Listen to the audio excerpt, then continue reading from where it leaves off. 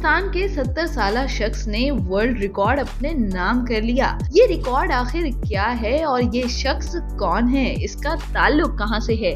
ये तमाम तर तफसीलात जानने के लिए इस वीडियो को एंड तक देखें। गिनीज वर्ल्ड रिकॉर्ड की सालगिरह के हवाले से पूरी दुनिया में खसूसी तौर पर वर्ल्ड रिकॉर्ड तोड़ने का सिलसिला जारी है। कराची से ताल्लुक रखने वाले लोहार सत्तर साल नसीमुद्दीन को भी खसूसी इजाज़त दी गई। नसीमुद्दीन पैंतालीस साल से वेल्डिंग के काम से वाबस्ता हैं। वो लोहे के गेट और खिड़की के दरवाजे बनाने का काम करते हैं उन्होंने गिनीज वर्ल्ड रिकॉर्ड में नाम दर्ज करवा कर एक नई तारीख रकम कर दी वाजे रहे की नसीमुद्दीन पाकिस्तान के लिए मार्शल आर्ट में पूरी दुनिया में सबसे ज़्यादा यानी तिहत्तर आलमी रिकॉर्ड बनाने वाले मोहम्मद राशिद के वालिद हैं। इनकी पोती भी सिर्फ़ सात साल की उम्र में वर्ल्ड रिकॉर्ड बना चुकी है नसीमुद्दीन ने अपना आलमी record Pakistan Pakistan cricket team के नाम कर दिया। उन्होंने एक हाथ से मुट्ठी में सेब तोड़ने के मुकाबले में इंग्लैंड को शिकस्त दी और तेरह के मुकाबले में